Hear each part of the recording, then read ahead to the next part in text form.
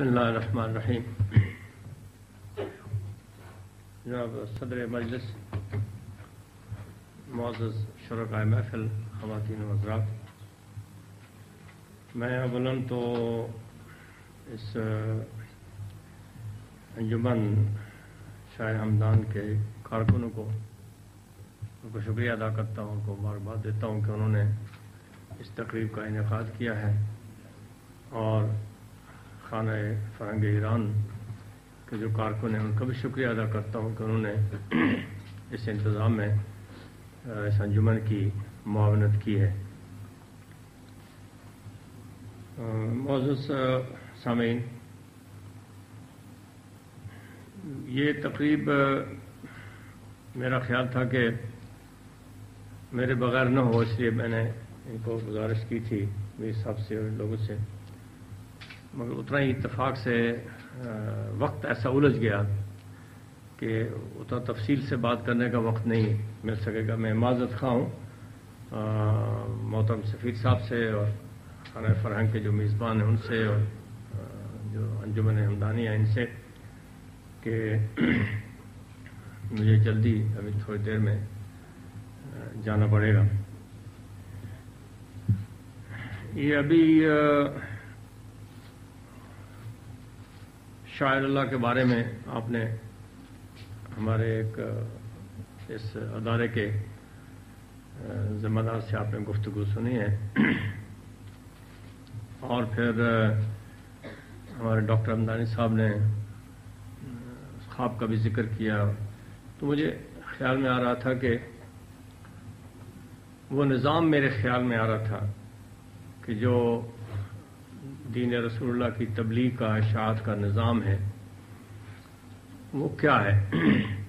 उसके कई गोशे हैं, कई हिस्से हैं। और जितना किसी आदमी को जो गौर करने का मौका मिलेगा और उससे वाकफियत होगी तो ऐसा लगता है कि उसकी कोई हद ही नहीं है, हद हिसाब ही नहीं है कि कई तरीक़े हैं जिनसे कि अल्लाह के दीन की मुहाफ़त दिन फैलता है, उसकी मुहाफ़त होती रहती है। उसमें उस निज़ाम का एक बड़ा अहम हिस्सा अहल रूहानियत का निज़ाम है, जो अभी मुझसे पहले पढ़ी गई आयात मुबारक और बाकी गुफ्तु से, जिसकी तरफ़ आपने इशारा सुना।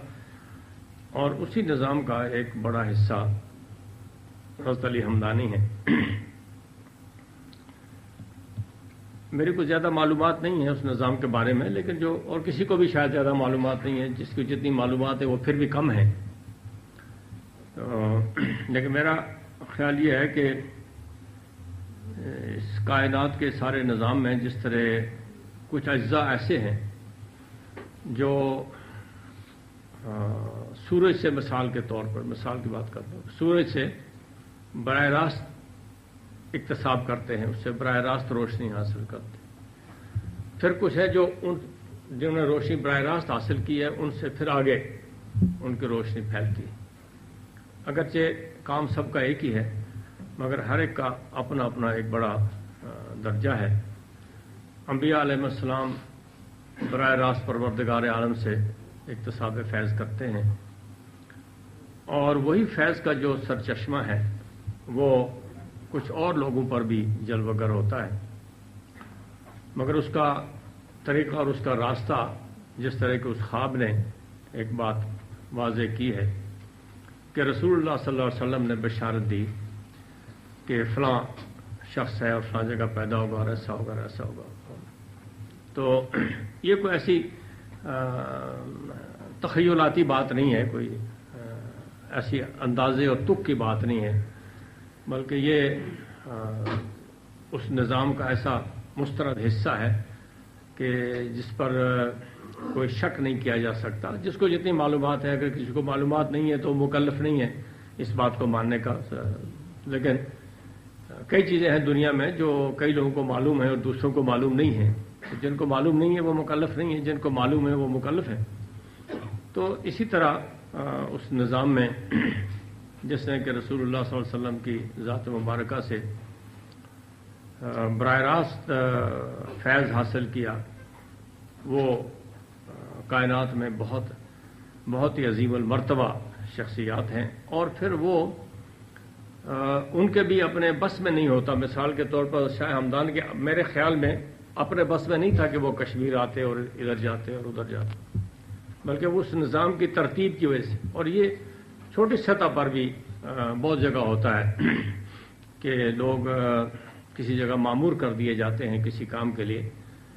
अगर ऐसा ना होता तो शायद जो इसके मुखालिफ निज़ाम है, वो इससे इससे सबकत हासिल कर लेता और फिर निज़ाम ही सारा ख़त्म हो जाता। तो ये उस निज़ाम का मुस्तकिल हिस्सा है कि उसमें लोगों को मामूर कर दिया जाता है और उन मामूर बिन अल्लाह लोगों में से एक हज़रत शाह हमदान भी हैं, जिनका फैज़ ज़मानों तक क़्यामत तक जारी रहेगा। और कश्मीर में इस वक्त भी आप देखें कि इस सारे खत्े में कश्मीर वो खत्ता है कि जहाँ खुदा और उसके रसूल के नाम पर लोग परवानावार जाने दे रहे हैं। और कुर्बानियों की कोई हद नहीं है कि जो उन्होंने नहीं दी है। और मेरा मेरा अपना ज़ाती तौर पर यकीन है कि अल्लाह ताला की मेहरबानी से इन कुर्बानियों के नतीजे में न सिर्फ़ कश्मीर को, बल्कि पूरे आलम इस्लाम को फ़ायदा पहुंचेगा वो बात मैंने अभी पिछले दिनों जब ये ओ आई सी की मीटिंग हो रही थी तो वो जो कॉन्ट्रैक्ट ग्रुप बना है उसके जो तीन सरबराह वहाँ मौजूद थे, उनको भी मैंने ये बात कही थी कि आप इस पर गौर करें कि हिंदुस्तान क्यों कश्मीर पर कब्जा रखना चाहता है। उसका क्या सबब है? और क्यों इतनी बड़ी वो कीमत अदा कर रहा है? आखिर क्या उसके पास इलाका थोड़ा है? आदमी थोड़े हैं वसाइल थोड़े हैं। किस चीज़ की हिंदुस्तान को कमी है कि कश्मीर का ये डेढ़ गज जो खत्ता ज़मीन है, और ये थोड़े से लोग हैं, इनको उसने जबरन कब्जे में रखा इतनी कीमत अदा कर रहा है? तो मैंने कहा, इस पर आप गौर करें। आप लोग ओ वाले गौर करें कि क्यों ऐसा कर रहा है? तो मैंने कहा, अगर गौर करेंगे तो आप इस नतीजे पर पहुँचेंगे कि ये कश्मीरी कौम जो है कश्मीरी मुसलमान, ये भारत के जो तोसी पसंदाना अजायम हैं, जो उसका मनसूबा है तोसी पसंदी, और उसकी तोसी पसंदी में इर्द गिर्द की तमाम छोटी बड़ी रियासतें शामिल हैं। चीन के सिवा बाकी तमाम रियासतें उसकी तोसी पसंदी में शामिल हैं। तो ये चंद मुट्ठी भर कश्मीरी हज़रत शाह हमदान के उस पैगाम से इंस्पायर होकर उसके उस जज्बे और शौक शौक की वजह से ये इस काबिल हो गए हैं कि इन्होंने हिंदुस्तान जैसी बड़ी कुत के रास्ते में रुकावट खड़ी कर दी। कश्मीरियों ने जान देकर, कुर्बानी देकर पाकिस्तान की हिफाजत की है और पाकिस्तान की मुहाफजत होगी तो इसकी वजह से सारा जो खलीज का खत्ता है, ये सारा बच जाएगा।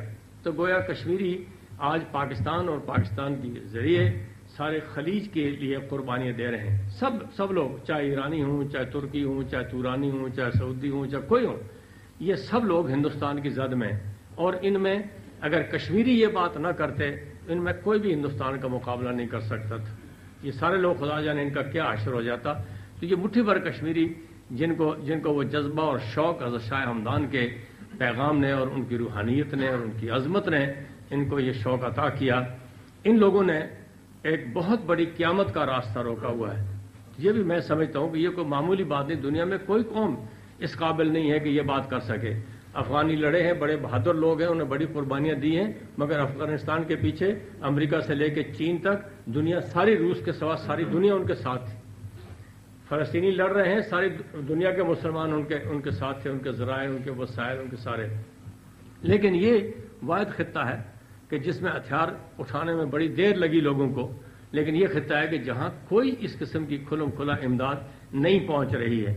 और सच्ची बात यह है कि पाकिस्तान बड़ी पाकिस्तान पर कितना दबाव है और कितनी मुश्किल में पाकिस्तान आ, आ, कश्मीर के साथ अपनी वाबस्तगी को कायम रखे हुए है इसका अंदाज़ा उन्हीं लोगों को है जो इस बात को जानते हैं जिनको पता नहीं है वो नहीं इसका अंदाज़ा कर सकते। लेकिन इसके बावजूद आ, कश्मीरी मुसलमान ने हौसला नहीं आ रहा। छः साढ़े छः लाख फौज है वहाँ, और दरिंदा और वैशी फौज है वहाँ, छह साढ़े छह लाख। कहने को तो आसान बात है, लेकिन छह लाख फौज किसी ने देखी हो किसी जगह तो उसको पता होता है कि इतने छोटे से खत्े में छह लाख फौज का इस्तेमाल कितनी बड़ी क्यामत है, उनका वजूद ही वो कुछ ना करे। कोई बंदूक न चलाए, कोई गोली न चलाए तो मैं उनका वजूद ही उस खत्े में क्यामत से कम नहीं है। लेकिन इसके बावजूद कश्मीर का मुसलमान भारत का रास्ता रोके हुए है।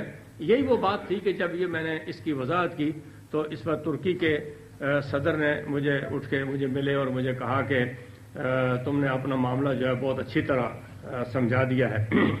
तो ये वो बात है जो मैं समझता हूँ कि ये सारी बरकत और अजमत और जो है जो सारी ये हज़रत शाह हमदान की मरहून मिन्नत है कि जिनकी वजह से कश्मीरी बचे हुए भी हैं अभी तक और कश्मीरी जिहाद भी कर रहे हैं और कश्मीरी आलम इस्लाम की हिफाजत भी कर रहे हैं। तो ये जो तकरीब यहाँ मनाई जा रही है शाह हमदान के नाम पर तो ये उन्हीं का फैज़ है सारा।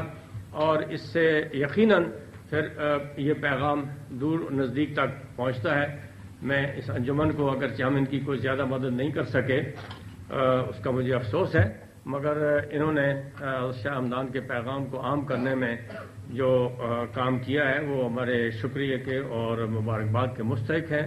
इन शजीज़ हम कोशिश करेंगे कि ये कोशिशें जारी रहें और ज़्यादा से ज़्यादा जहाँ तक फैल सकती हैं, वहाँ फैलें। पिछले साल हम ताजिकिस्तान में कॉन्फ्रेंस करना चाहते थे, वो बावजूद नहीं हो सकी, लेकिन फिर इंशाल्लाह मौका मिलेगा और ईरानी दोस्तों से कहेंगे कि ये तहरान में किसी और जगह इस तरह ऐसी कॉन्फ्रेंसों का इनका का अहतमाम करें ताकि शाह हमदान के पैगाम को और ज़्यादा इलाके में और ज़्यादा लोगों तक पहुँचाने में मदद मिल सके।